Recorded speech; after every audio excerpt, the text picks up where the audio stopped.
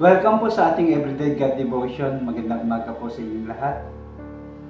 Kapag binasa po natin ang kabuuan ng Biblia, ay isa lamang po ang nilalayon nito.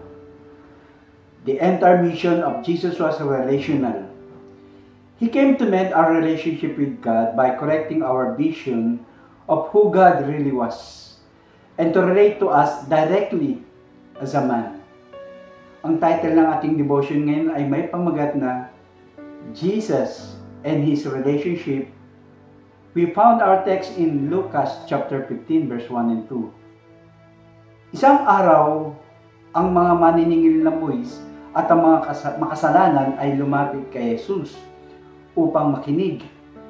Nagbulong-bulungan naman ang mga pariseyo at mga tagapagturo ng kautusan sabi nila, ang taong ito'y nakikisama sa mga makasalanan at nakikisalo sa mga ito.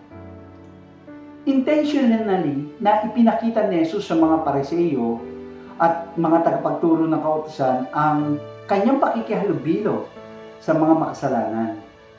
Dahil ito ang kanyang layunin at upang sirain ni Jesus ang kanilang paniniwala na hindi dapat makihalubilo sa mga makasalanan kaya laking pagkadismaya ng mga pariseyo at mga tagapagturo ng kautusan. Ang kanilang nasaksiyan kay Jesus na matagal na nilang sinusubaybayan upang batikusin si Jesus ay sa katuruan ng mga Hudyo.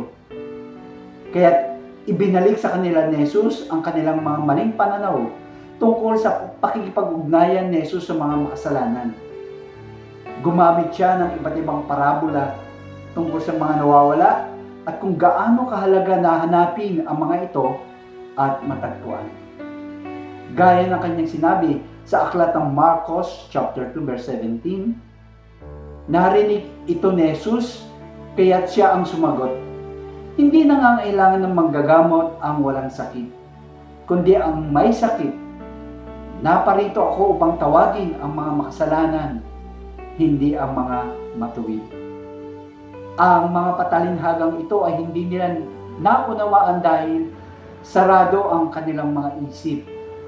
Ang pakikihalubilo ni Jesus sa mga makasalanan ay upang ipangaral sa kanila ang mabuting balita ng kaligtasan at ang paghahari ng Diyos. Nakailangan nilang manampalataya na si Jesus ay Panginoon na tagapagligtas. Kaya si Jesus ay kailangang makipag-ugnayan sa mga tao upang mangaral sa mga makasalanan bilang kanyang mission. Bilang katanungan sa atin ng ating napag-aralan na ito tungkol sa pagiging relational ni Jesus. Una, kapatid sa iyong pakikihalubilo ba sa mga tao ay naibabahagi mo ba ang mabuting balita ng Panginoong Yeso Kristo?